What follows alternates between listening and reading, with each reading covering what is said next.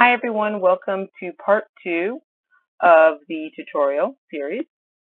So remember that I cannot toggle back and forth, so you you can only see the internet version. So there will be um, a tutorial part three and actually four as well. Um, we'll get into that a little bit later. But anyway, so I'm going to show you how to do your research. Okay, now you will remember that my thesis statement relates to the COVID-19 crisis in regards to the environment. So my thesis says COVID-19 has caused the world great strife and stress. However, this global pandemic has come at a time when the environment desperately needed a break, and the COVID-19 global pandemic is significantly helping humanity. So with my thesis, I am trying to prove that there are positive effects uh, from the COVID-19 in regards to, to the environment, and that um, these positive effects will positively affect humanity. Okay, so I need to prove my point, right? So what we're going to do is we're going to do some research. I'm not going to take you through like a full research, obviously. What I'm going to just do is help you to kind of see what I'm talking about from the last lesson when I'm talking about, um, you know, search engine optimization and um, how to find that information uh, and also is it credible, reliable, you know, all that stuff. So let's go through that. And then in the third tutorial, I'll show you um, what the citation page looks like, so on and so forth. And I'll also give you some references for um, citation generators that you can use. All right, so let's get started. So that's my thesis. Okay, and one of my research questions is um, what improvements to the climate, what improvements to the climate have actually been made and why? Don't forget, I also need to research for my counter argument. For my topic, it's a very new topic. So for me, I would have had to, and I've already, I've already done that, obviously. Um, I would have had to research my counter argument before, um, you know, I, I, I find any citations for that. Now, if you have an argument that's more established, um, it's not something that's new, then one of two things, um, you will probably be able to find that counter argument very easily. Um, or two, you already know the counter argument. You can guess it you know, so that's easy. Um, in my case, the counter argument um, for positive effects is that most people are saying that yes, there are positive effects on the environment. Um, that is that that can be found with scientific and empirical evidence. So no one, I won't say no one, but um, these critics are not denying that. But they're saying that the positive effects on the climate right now because of COVID-19 is not enough to reverse all of the damage that has been done um, from humanity. It's, it's just not enough. When we go back to business as usual, we're going to go back to the same uh, the same thing. We're just going to go back to all the same wasteful practices and uh, poor environmental protection that we did before. And so they're saying that this is not enough. Also, that um, this can increase waste just in other forms. So online shopping has increased.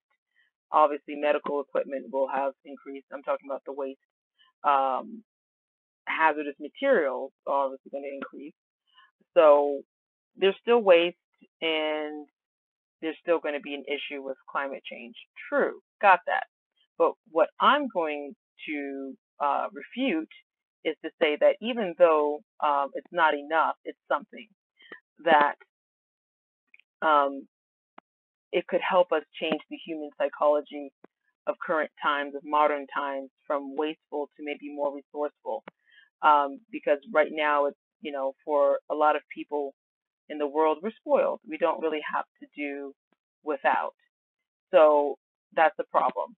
So help. So hopefully, this can help to change human psychology. So I'll talk more about how to um, to contradict or, or to refute a counter argument, but right now we're just focusing on the research. So now that you kind of understand more about my research, let's get into it. So when I talked about search engine optimization in the last lesson, you don't have to um, know all the technicalities of that. All I was trying to say is that be more specific in your search. Okay, so if I just type in, okay, let's just give a poor example. I know that my topic is climate change, right? And the effects, the positive effects on the environment because of COVID-19. But if I just type in COVID-19, guys, okay, I'm not going to get, look how many search results that I have. My goodness. I mean, you're going to get a lot anyway, but come on. Okay. So I'm just getting a lot of information that is really not relevant here because I wasn't specific. Or if I type in, um, how is climate change uh, improving now? Okay, can, can you see here? We don't have, remember I told you that the first page and the first few results are going to be the best, right? There's not a lot of specific information here. Okay, so now let me make my search a little bit more specific and say uh, climate change and COVID-19. Okay, so it's it's definitely better. I can see some of my counter argument here. Sorry, climate change hasn't gone away because of COVID-19. So, um, so these people are going to say that nope, no way, it hasn't gone away completely. Um, some of them might say, like I already told you, it's better, but it's not good enough. But I really want to focus on my topic, which I'm trying to find the positive effects. Effects, yeah, effects, sorry. I'm trying to find all the positive effects. So let's make my keywords a little more specific. So it's okay for you to type in a, a whole long sentence into Google. Like you don't have to type in like two, three, four words. You can type in a whole sentence if you want to. It's going to be better actually makes it more specific. So let's say positive effects on climate change due to COVID-19.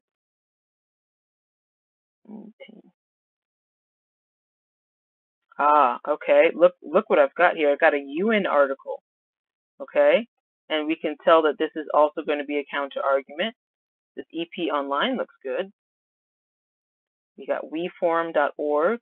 And another note about when you do search for credibility, um, we're going to check one of our websites for credibility. Look for .org. Okay. Uh, .org is really good because organizations have to go through stricter guidelines in order to get that. Um, I forgot what they call it. Uh, the ends here. Okay, of the URL. Com is fine. I mean, but com is commercial. Anybody can get .com for the domain name. So um, you have to be extra careful. Not to say that all orgs are good, and just saying that in, in general, it's going to be better. But I mean, of course, you know credible sources like news sites. Even with news sites, some of them are biased. Um, so don't take all of your information from one website. Like for those of you, maybe you like Al Jazeera, don't get all of your news articles from Al Jazeera. Um, you need to diversify because even news sites can be um, biased. Okay, so we have a lot of conservation. Great, we have some great sources. Now, don't just stick with the first page. Look at the second page. And these are still good because I typed in a more specific um, keyword list, I guess you can call it, sentence, pretty much. So that's that's my version of SEO, a search engine optimization. Just be more specific with your search. Okay?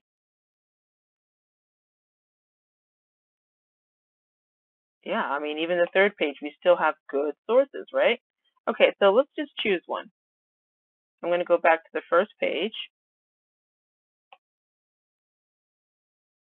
And I want to focus on positive effects. So even though I, I want to look at this one too, but let's focus on, let's go to EP online.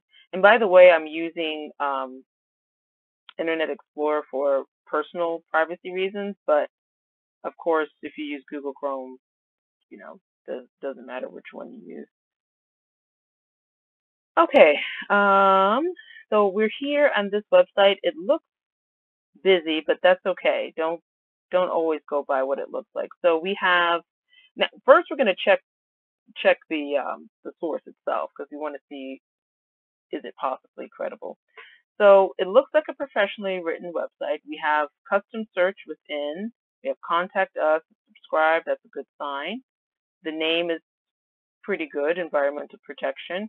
Okay, guys, a lot of times that there there are ads on these websites and stuff like that, and I have no idea what's going to come up. So do excuse me. Uh, let's see. So we have title, no author, which is okay. That's not a that's not a big deal. Um, at the bottom, we have a lot of ways to contact them and to check them out. So that's really good. That's a good sign. Okay, that means they're not ashamed of themselves. They're they're probably a credible source. Um, we have a discussion. That's good. That means they're open to um, criticism. That's a good sign. Let's see. Oh, even better. At the bottom, we have um, sponsors and magazines that they've been published in, which is very important. We have contact. Okay. Great. We have quick links, terms of use, privacy policy. They have a variety of topics. They have products. So this is looking pretty good. I'm going to, oh, oh, we have a trademark sign. I'm going to go with that these people can be trusted at least as a credible source. So now we would need to go and read the article, of course. Once you find out that it's credible, don't waste your time if it's not.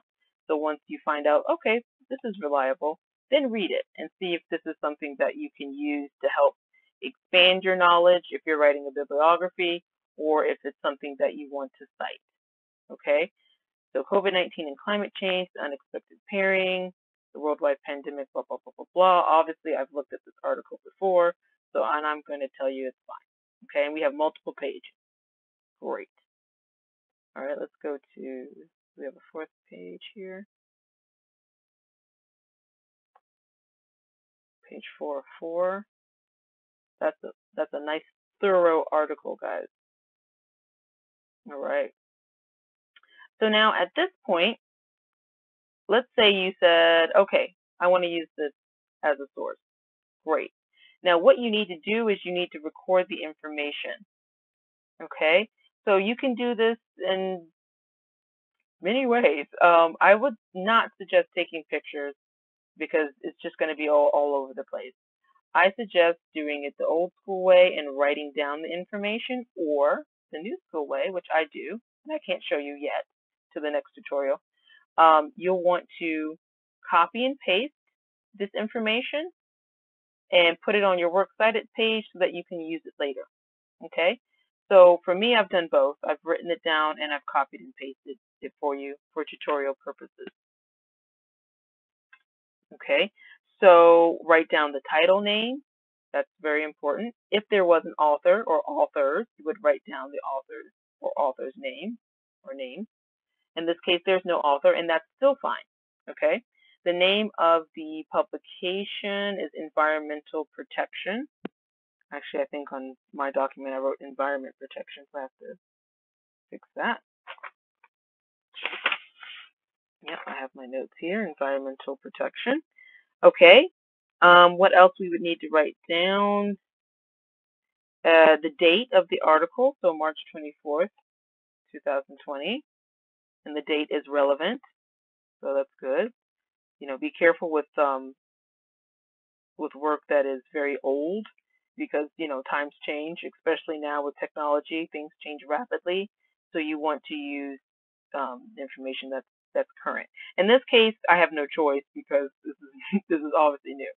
Um, but if I were writing about an older topic, then obviously I would want um, to make sure that my my information is relevant, and so my date has to be relevant as well.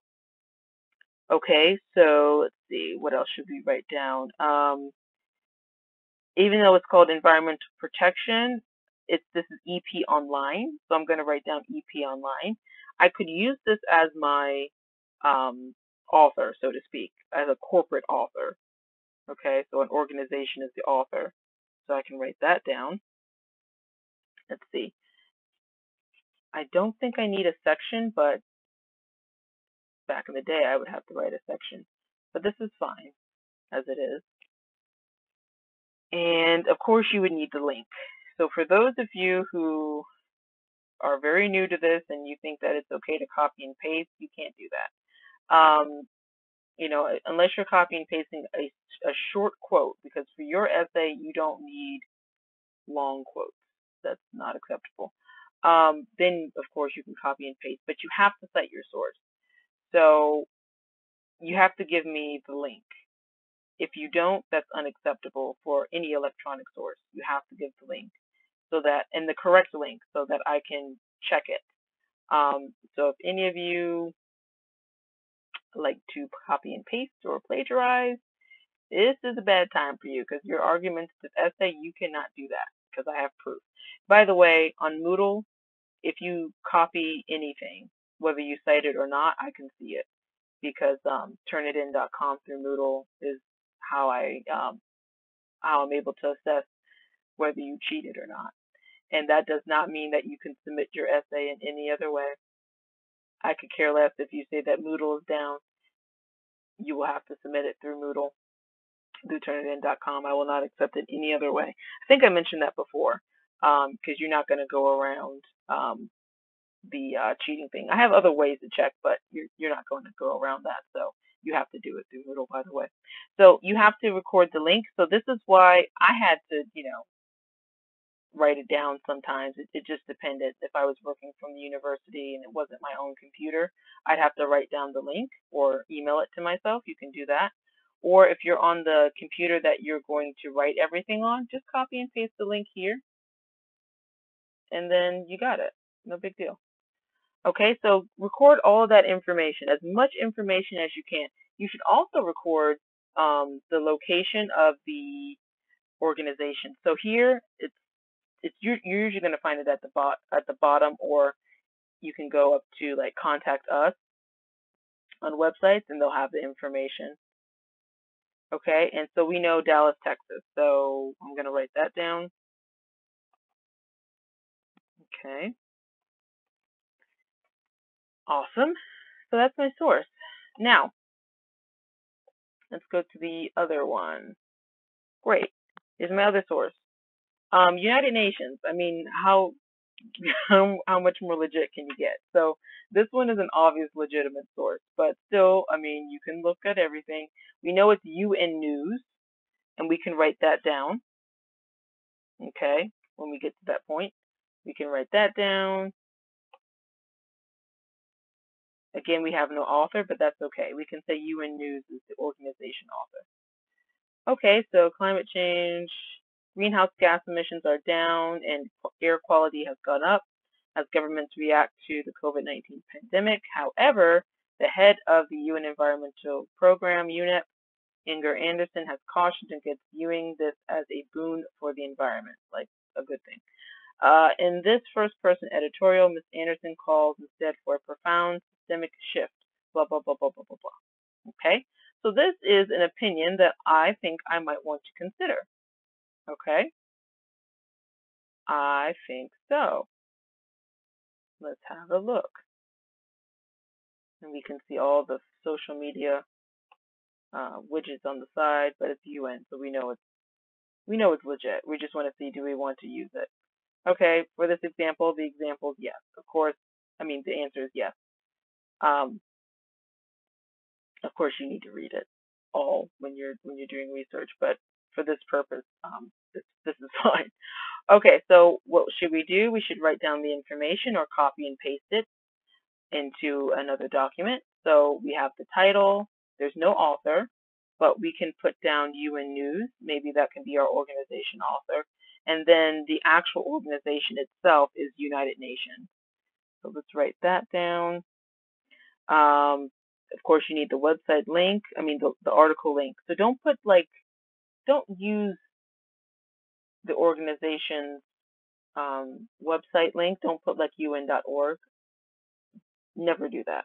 You have to give me the exact functioning link, no broken link, to the article itself. So in this case, you would need to copy and paste all of that. I don't care if the link is all the way this length and down beyond. You need to copy and paste that entire link and put it into your citation. Okay, um, you have the date is April 5th. And as far as I know, United Nations is in New York, New York. So I'm just going to say New York, New York. Okay, great. That, that one's easy. But if you really needed to search, you can go to contact us or you can go around the website to try to find out. Um, but you need to find that correct information. And if you can't find it on the website, you can also go to Google and type in uh, where is the headquarters for the UN, and it'll pop up. Usually it's the first thing that pops up. So brilliant. So now we've got two sources, and we're going to go with that.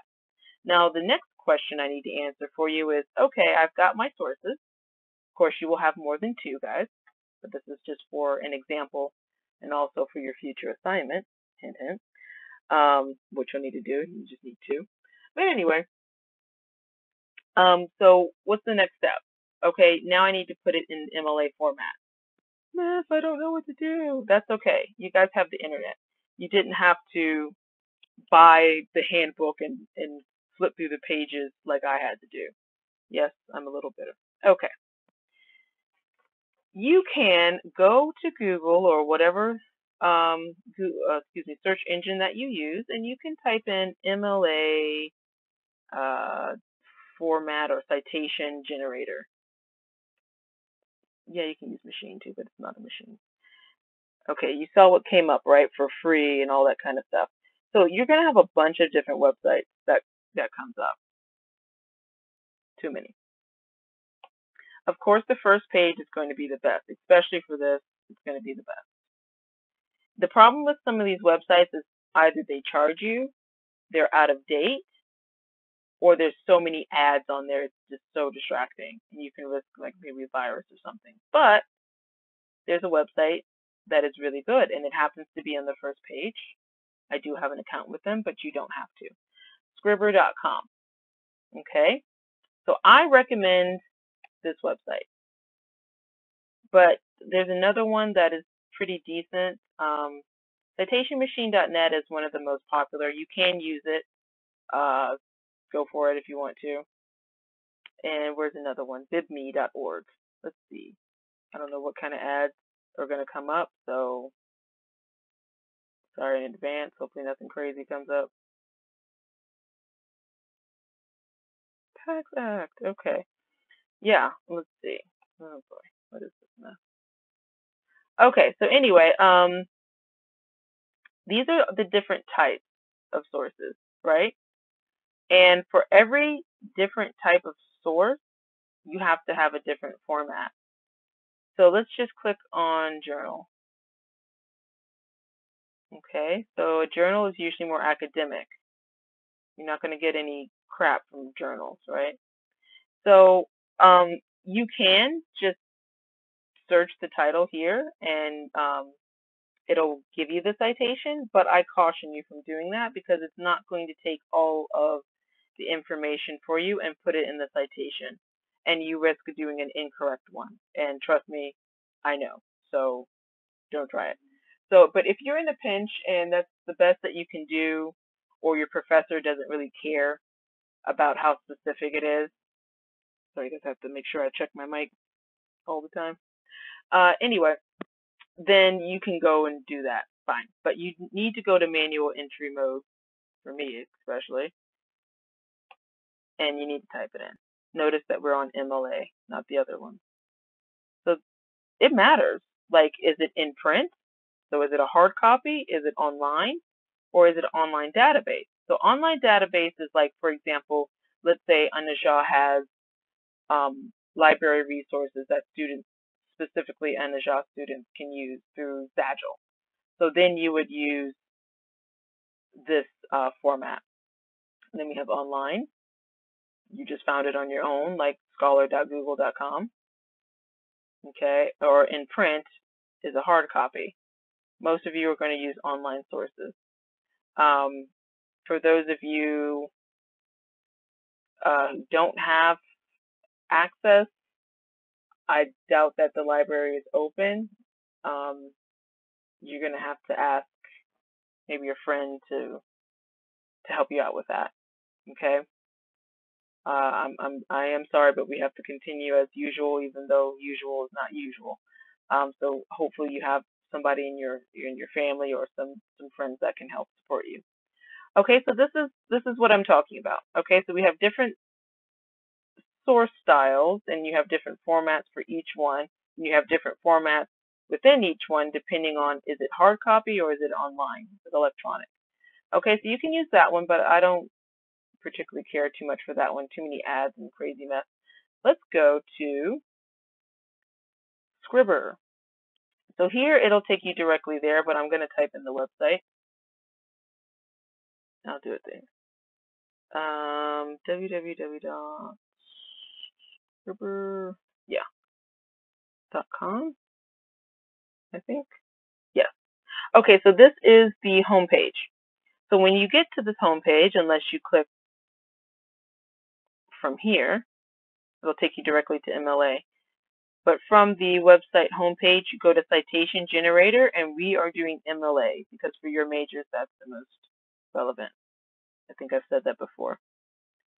Okay, so as you can see, I'm not logged in, so you can use the service for free. Okay? So now, we've got our sources, and I've written them down or copied and pasted them. Um, but because I can't toggle, I'm going to um, type everything in. But for the website links, I can copy and paste it because I have it open here. So it's no big deal. So now we're going to um, we're going to do one for example purposes. I'm going to choose environmental protection. Okay, so we're going to cite this one. So we can tell that it's definitely an online source, but is it a magazine? No. Um, let's look at the different types. Is it a book? Is it a journal article? Is it a word in the dictionary? Let's look at the others so you can see. Encyclopedia, online video. So it's none of those, but it's a newspaper, right? I'm going to go with a newspaper. It's a newspaper article. So when we click on newspaper article, it's going to ask us what's the format, printed or online. We're going to use online. As you can see here, again, you can type in the URL and it'll give you the citation. Like I said, I caution you from that because they're not always going to include all of the information. So we're going to type it in. Well, I, I'm going to type it in. Okay, so they do everything for you, so you just type it in. Um, as you can see, they give you all the details here. Guys, I'm not paid by them to promote this website, just FYI. Okay, so you don't have to type in the quotation marks here. They'll do it for you. So let's see, the article is called COVID 19 and climate change. Um, the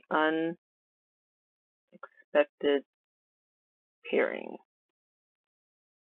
Okay. Oh, sorry. By habit. Uh, the name of the newspaper, we're going to say Environmental Protection. That's the name of it.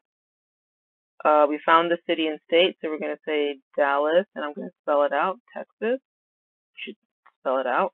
Okay, so we don't have an actual author, but in this case, we can just use the organization. And because they have a separate name, I'm going to use that, EP Online. Okay, since they are print and online. So I'm going to use EP Online, sure. The publication date, okay. So usually you would use like um, the publication date of the actual newspaper, or in this case, the article itself. So remember that it was the 24th um, of March, obviously 2020. And then URL, in this case, I can just copy and paste it. So if you have a bunch of different sources, um, having all these tabs up might be really frustrating and confusing, which is why I say copy and paste the information in a different document. But if you are doing it as you go, like you know you're going to use that source, so you just go ahead and do the citation, I highly recommend that. So you guys can just go ahead and use this website and hey, life is easy. Look, I'm not logged in, but for this website, it's free. You can create an account if you want to save your sources or you want to use some of their other sources. Go for it um, use some of the other services. Sorry, been talking all day. Okay, so as you can see, this is exactly as it should be. Okay, like I showed you um, in the examples in the lesson. So EP Online is going to be our author. So we have an organization author in this case. If we actually had a person, the person's last name and first name would be there. For this website, you can just click to copy. In most generators, you can do the same. You can click to copy it, and then it'll be copied, and then you can paste it wherever you need to paste it. And then there's another part um, that I want to show you, but I'm going to go into more detail about that in another, another tutorial. Okay, so this is what it is. This is it. And in the next tutorial, you're going to see the first part. You're going to see how it looks on the document. Now, on this website, you can go to the bottom of the page, whether it's the, through the previous page or whatever page you go on, you can go to the bottom and it will give you a quick guide. This is the handbook. Um, a lot of times professors will make you buy the handbook because they want you to actually study it. And most of the most correct information is only printed I shouldn't say that. All of the information is printed in the handbook. Um, and so that is like the number one source. But websites, some websites are very good in, in giving you those details for free.